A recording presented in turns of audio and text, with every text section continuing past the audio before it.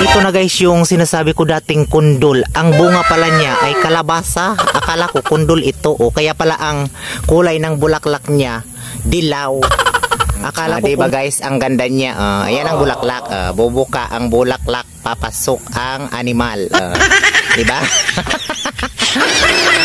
Kulay orange ang kanyang flowers. Uh, tapos ito, pag namuka pa ito, oh, marami ito. Oh.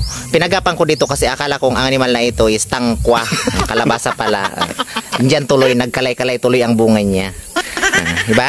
O oh, yan, pag marami na yan bunga, uh, bigyan ko kayo, mag-message kayo sa akin. Kasi ito ang ano, ito ang squash yan ng kalabasa. Akala ko kundol to eh. Kalabasa pala ito oh. May bunga na isa. Oh. Malapit na yan. Lumaki. Pag malaki na yan, pwede na yan i-ano, pwede na yan ipakbit. Yan ang kalabasa guys. Tapos ito ang bulaklak niya oh. Ang bulaklak ng kundol puti, kaya pala ang bulaklak nito yellow kasi kalabasa pala ito eh. Hindi naman pala ito kundol, hindi naman ito tangkwa. Oh, yan oh, nakikita ninyo yan? Ang ganda ng bulaklak. Ang ganda ng bunga. Yan oh, guys, uh, nagbunga na siya. Tapos ito may mga sitaw pa yan dyan. Uh. Yan. Uh, ganda.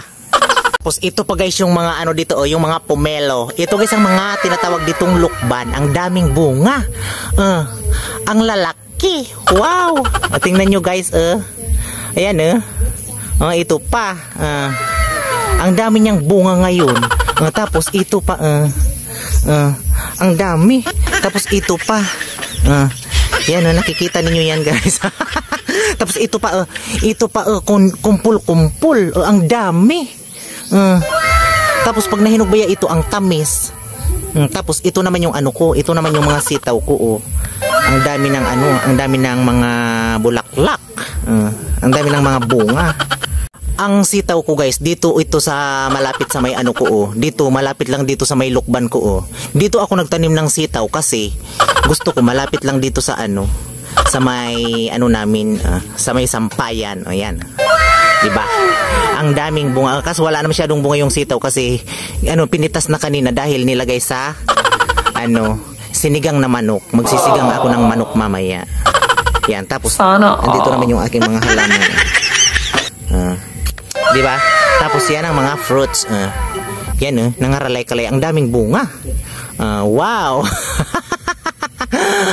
ah, sige na guys, babay na. Ta, balik na ako sa trabaho. Late na ako. Nadipungal, animal.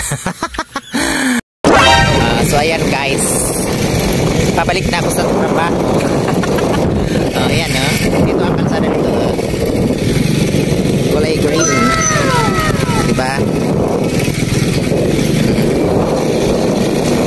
Tapos yan ang ano, luglugan ng kalabaw. Ay, masisira naman ang motor dito sa motor na ito.